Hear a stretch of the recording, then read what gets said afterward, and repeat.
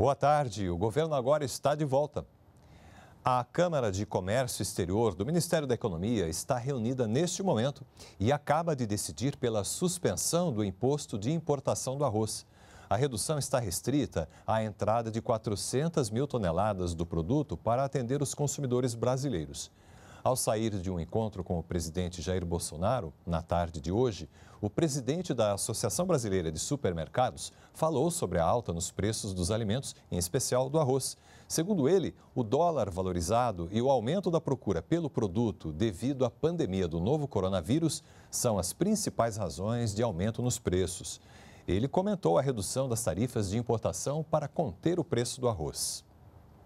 Teve queda de safra, teve exportação muito alta e teve aumento de consumo interno.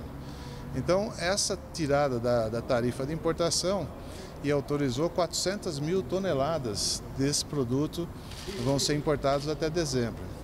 Isso já é uma sinalização do lado da oferta do produto que vai ajudar a regular o preço. Do nosso lado, nós já vamos continuar fazendo a nossa parte. Nós sempre defendemos os consumidores, nós somos muito competitivos. Nós dependemos de ter preço barato para continuar vendendo e atraindo clientes. E nós vamos continuar negociando muito forte com os nossos fornecedores e vamos fazer uma ação além disso. Nós vamos estar promovendo o consumo de massa, macarrão, que é um substituto para o arroz. Mais cedo, a Secretaria do Consumidor do Ministério da Justiça notificou supermercados e cooperativas e pediu uma justificativa para o aumento dos preços dos produtos da cesta básica. Eles terão cinco dias para responder aos questionamentos e explicar a alta nos preços. E essa alta nos preços já reflete na inflação de agosto, que ficou em 0,24%. Os preços dos combustíveis e dos alimentos puxaram o índice do mês passado. Maurício de Almeida tem as informações. Depois da gasolina e da energia elétrica terem pressionado a inflação no mês de julho, em agosto, alimentos e bebidas, que subiram 0,78% em média, e os transportes, com uma alta de 0,82%, foram os principais responsáveis pela alta da inflação. Em agosto, o índice oficial divulgado pelo IBGE ficou em 0,24%, abaixo da inflação de julho, que foi de 0,36%. Diminuiu a pressão sobre os preços. No acumulado do ano, a inflação registra uma alta de 0,70% e nos últimos 12 meses, 2,44%, abaixo do piso da meta do Banco Central, que é de 2,5%. No Rio de Janeiro, Maurício de Almeida, para o Governo Agora.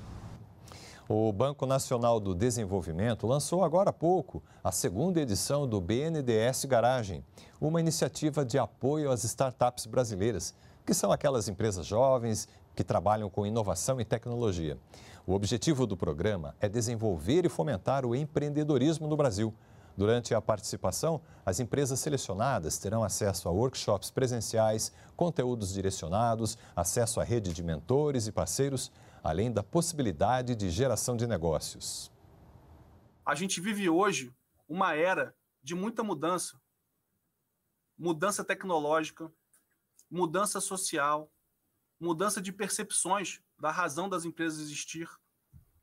Nesses tempos de mudança, ter novas ideias, pessoas com ideias diferentes, pessoas ousadas, empresas pequenas atuando em parceria com empresas grandes, tem um poder transformacional. Então a gente vê aqui nessa agenda realmente uma oportunidade de mudar o Brasil.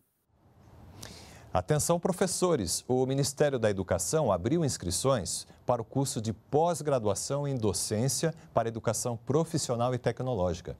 São 4.200 vagas para todos os estados e o Distrito Federal. Podem participar professores das redes públicas estaduais ou distrital que atuem em disciplinas de áreas correlatas ao tema do curso. As inscrições devem ser feitas pelo site que aparece aí na sua tela até 24 de setembro. A gente fica por aqui. Continue acompanhando as notícias aqui na TV Brasil. Nos vemos logo mais. Até!